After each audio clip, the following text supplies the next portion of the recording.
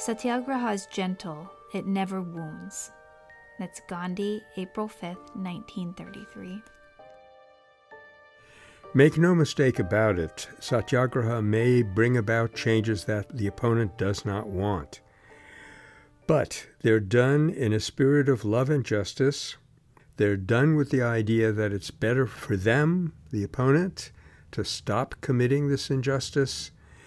And in that sense, the quote, wound is only like what a surgeon would have to do to alleviate some physical problem that we have.